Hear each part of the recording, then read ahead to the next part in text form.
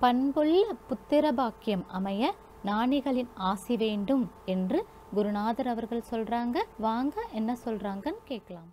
தன்னை அர்ப்பணிக்கக்கூடிய த- அந்த தய தயவு செய்த உள்ள கடவுள் தன்னை அர்ப்பணிக்கக்கூடியவனும் மரணமில்லா பெருவாள் பெற்றவனும் கருணையே வடிவான ஒரு மகன்.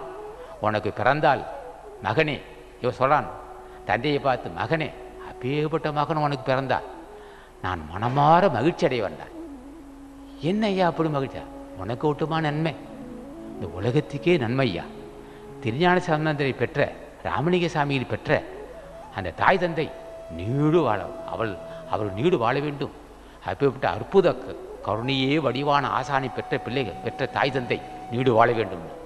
பெற்றெடுக்க வேண்டும் ராமலிங்க சாமி போன்ற பெற்றெடுக்க வேண்டும் தாய்மான மாணிக்க தாய்மான சாமிகள் மாணிக்கவாசன் பட்டத்தார் போன்ற.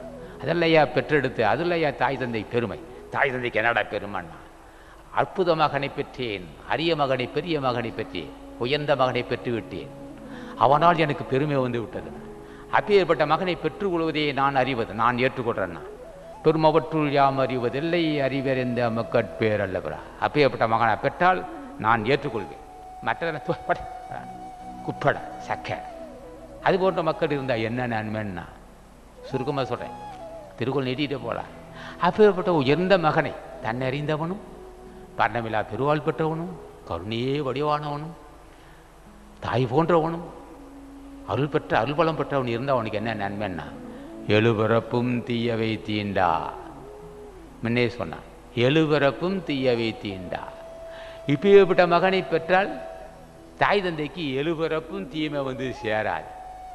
திருவாசகத்தை சொல்வார் மாணிக்கவாசன் மூவியல் சுற்றம் முரணூறு நரைகடை ஆளாமே அருள் அரசே போட்டினார் அந்த இடத்த சொல்லுவார் ஒரு மகன் ஒரு குடும்பத்தில் ஒரு ஞானி தோன்றினால் அவன் இருபத்தோரு தலைமுறைக்கும் செய்த தாய் தந்தை இருபத்தோரு தாய் தந்தையுடைய பாவத்தை பொடி பொடி பொடி பொடி ஆக்குவான் என்ன என்ன? இந்த மனிதன் ஒரு மனிதன் கடத்தேற வேண்டும் என்றால் இருபத்தோரு ஜென்மம் எடுத்தியாக வேண்டும்.